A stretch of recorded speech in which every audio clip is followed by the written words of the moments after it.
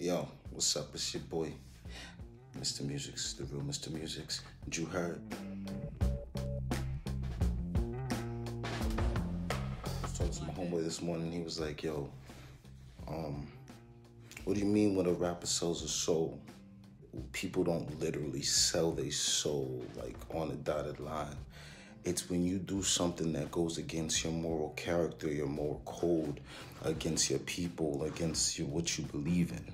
That's the only way you're selling your soul. Like if you go into the entertainment business and you're rapping and you're like, yo, I'm gonna join this game just to empower black women and empower my brothers to be better. But when you pull up in this game, you do that one song that inspires, that shows how you are as a person.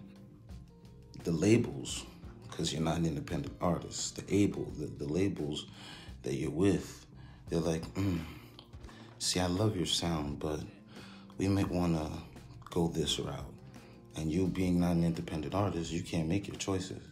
So you are, you already signed that contract, you got your money, but this little stipulations in it is you're selling your soul.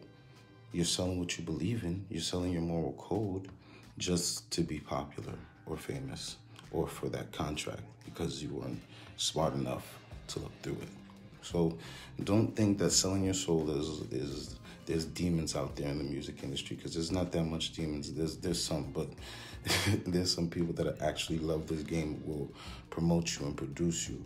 Uh, I've been finding out slowly but surely. It's, it's not a selling your soul shit. It's selling your code. It's selling your your your moral compass just for a couple dollars. All right. So yo, this is your boy. You see, I don't got my goals in. Yo, you're uh, boy, Mr. Musix. Have a good morning. I'm about to hit the gym. I'll holler at y'all.